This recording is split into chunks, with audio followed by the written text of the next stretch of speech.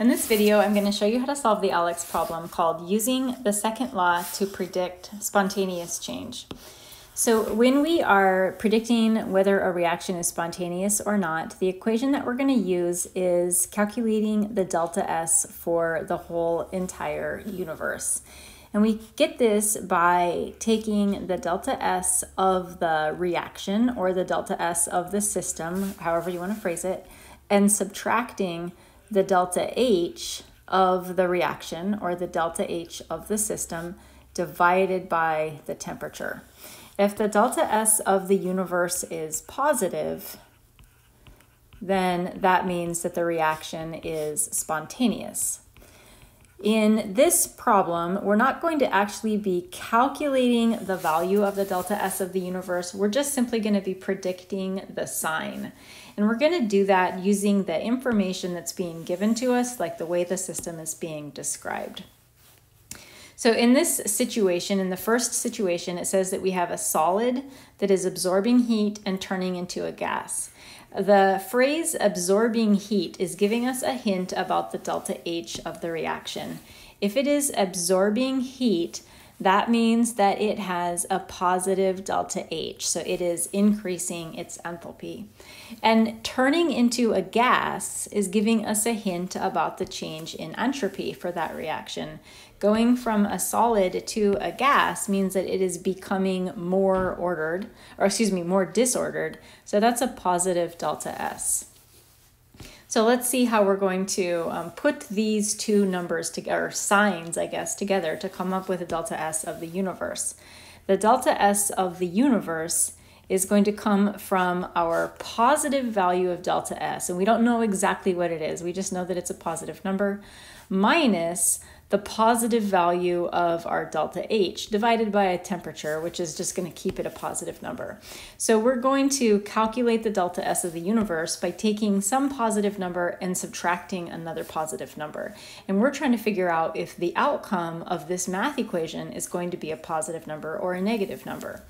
We really can't predict that from this particular equation because it depends on the size of these two numbers. So for example, just putting some random numbers in there, if the delta S was 5 and the delta H was 3, this would give us a positive number. And so yes, the reaction would be spontaneous. But if the delta S was 3 and the delta H was 5, this would give us a negative number and it would be not spontaneous. Because of that just kind of conflicting um, information there, we can't decide if this reaction is spontaneous or not with the information that's been given to us. In order to decide, we need to know the actual values, not just the signs of these. Let's try the next one. The next one tells us that we have an exothermic chemical reaction. Exothermic is telling us that this is a negative delta H. And it's saying that it's a reaction between a solid and a liquid that's producing gaseous products. So, this information about the reaction is telling us that we're increasing in entropy. So, that's a positive delta S. Solid and a liquid turning into a gas. So let's use that information to make a prediction, if we can, about the change in entropy for the universe. Uh, we know that the change in entropy for the reaction is going to be a positive number. So I'm just going to put that uh, put a plus sign in parentheses. And then from that, we're going to subtract the delta H of the reaction. And then we know the delta H of the reaction is going to be a negative number. So we have a positive number minus a negative number Mathematically, um, that just means we're going to have a positive number plus some other number, like the way the math works out, a negative minus a negative. Let's just put some arbitrary numbers in here.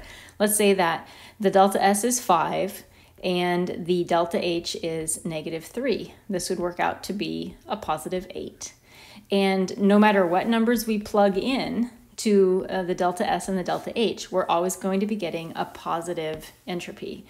And because of that, this reaction we know is going to be spontaneous. So regardless of the values of these numbers, it's always going to give us a positive outcome over here. The number will always be positive. Let's try one more. Here we have a solid substance dissolving in water. So dissolving this solid in water means that we are increasing the entropy. Anytime we dissolve anything or mix anything, we increase the entropy and it's releasing heat. So that means we have a negative delta H. This is exactly the same as the signs that we had in the previous problem, but I'm going to walk through it one more time because I know that this is really tricky. This is a problem that just requires a lot of concentration. So the delta S of the universe, coming from this equation up here, is going to be the entropy for the reaction, which we know is a positive number. So I'm just going to put a plus in parentheses. And then from that, we are going to subtract delta H over T. Delta H is a negative number. So again, we have some positive number minus some negative number. I'll say negative 2 this time. And that's going to always work out mathematically, always will work out to be a positive number. So that one is spontaneous.